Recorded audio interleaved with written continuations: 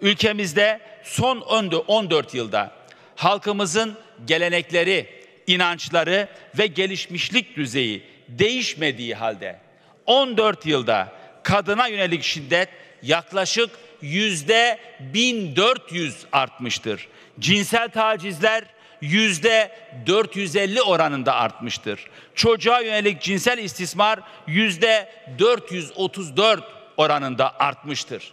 Dehşet verici değil mi? 2011 yılında kadın cinayetleri sayısı 121 iken 2016 yılında neredeyse 3 misli yani maalesef 328 oldu. 2011 öncesini hiç hesaba katmıyorum bile. Hani kayıt olur olmaz diye. 2011'den bugüne tam 3 kat artan kadın cinayetleri var. Görüldüğü gibi cinayetler, kadın cinayetleri giderek artıyor. Çok önemli bir şey daha söyleyeyim.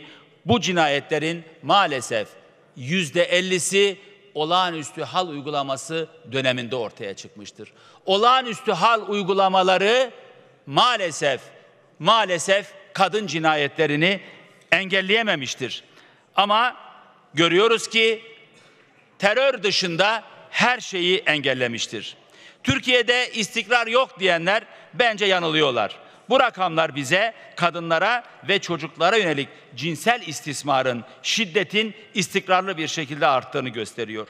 Bu rakamlar suçların önlenmesinde sadece ceza yönteminin caydırıcı etkisinin olmadığı, yetersiz olduğunu söylüyor. Eğitimin etkin bir şekilde kullanılması, yöneticilerin kullandığı dili düzeltmesi ve uygulanan sosyal politikaların daha etkili olması bizim için son derece önemlidir.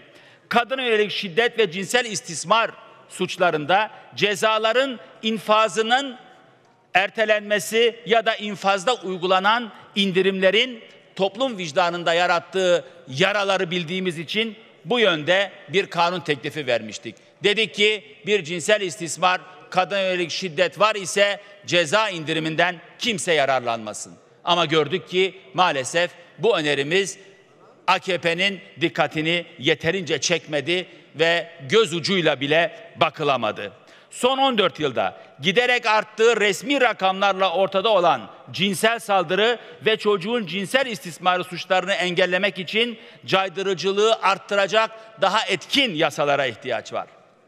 Peki milletin bağrından kopup gelen ve milleti temsil eden bizler milletin canını, malını ve namusunu korumak için bu konuda bir çalışma yapıyor muyuz? Hayır, yapmıyoruz. Ne yapıyoruz? Bir kısmımız başkanlık olsun diyor, bir kısmımız başkanlık olmasın diyor. Peki millet ne diyor? Ayıptır yahu diyor. Ayıptır. Benim dertlerimle ilgilenin diyor. Başkanlık sistemi yeni Özgecan vakalarının meydana gelmesini engelleyecek mi diye soruyor. Hayır. Öylesi atın çöpe. Başkanlık sistemi kadınlara ve çocuklara yönelik cinsel saldırıları önleyecek mi? Hayır.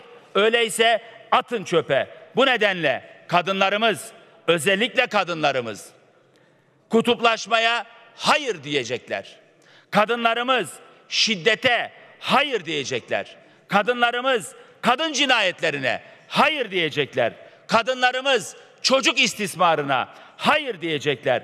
Ekonomik şiddete hayır diyecekler ve yine kadınlarımız bunların hiçbirine deva olmayan bu anayasa değişikliğine hayır diyecekler. Bizler Özgecan'a ve mağdur edilen tüm kadınlara yapılanları unutturmak istemiyoruz. Bir tek kişinin her şeye karar vermesi yerine ortak akıl, şeffaf yönetim ve demokrasiyi kurabilirsek inanın her şeyin üstesinden gelebiliriz.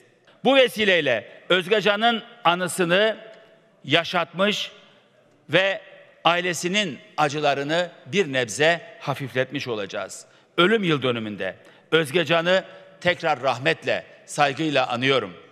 Ülkemizde özellikle kadına yönelik şiddete ve çocuk istismarına dur diyecek yasalar yapılmasını istiyorum.